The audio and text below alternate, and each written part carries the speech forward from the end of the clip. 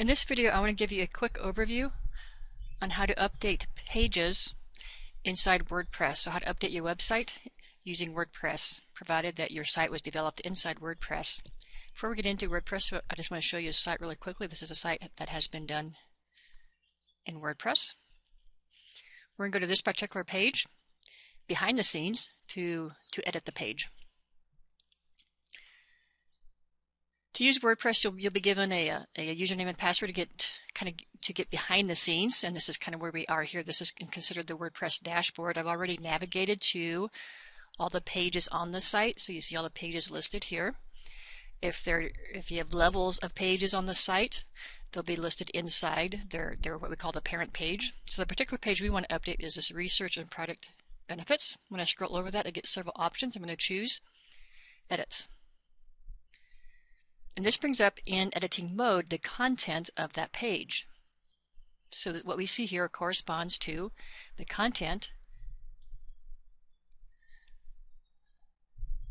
I'm sorry, let me jump to that particular page. the content we see here, the research and product benefits. Okay, so we see this area here when we're inside the edit mode of WordPress. Now we can edit whatever we want inside the content area of that web page. Again, if you're familiar with using Microsoft Word, you'll adapt pretty quickly to to WordPress.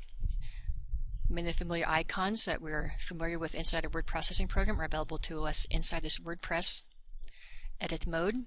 The use of uh, formatting the fonts, setting up bullet lists, justification. These options here are links, so if I want certain words to be a link to somewhere else, I simply highlight the word press on the link button, and then type in wherever I want that to go. And we'll say open this one in a new window, click OK or add link, and this becomes a live link.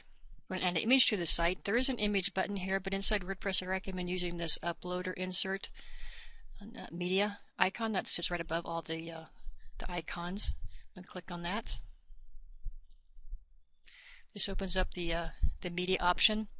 And if I wanted to bring it up from a computer, I could just select File, and we'll just bring in a random photo here. It uploads it. One thing I like about WordPress is as you upload an image, you're given the opportunity to, to put a title in, in there. Now your title and alternate text may not be the same. In this case, we'll go with the same. This really helps with search engine results, placing the title and alternate text in there.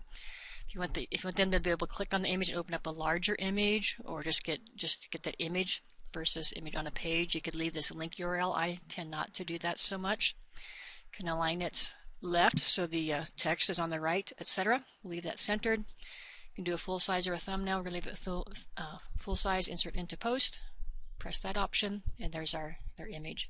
So again, to, to insert an image, simply place your cursor where you want it, click on the upload inserts. So you can do this with videos, you can do it with um, sound clips, uh, different forms of, of media that you can insert quickly into your page. Again, it, you, have all, you have full control over all of these. If you want to uh, add headings, I suggest um, typing in your heading and then selecting that line and using these different styles that are, have been already been set up. This gives you consistency from page to page on your site, so all your heading threes will look the same.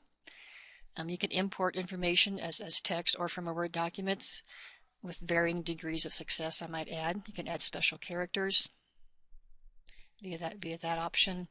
Um, so just a lot of, of options here inside WordPress to update your your website quickly and, and, and fairly fairly easily and, and straightforward.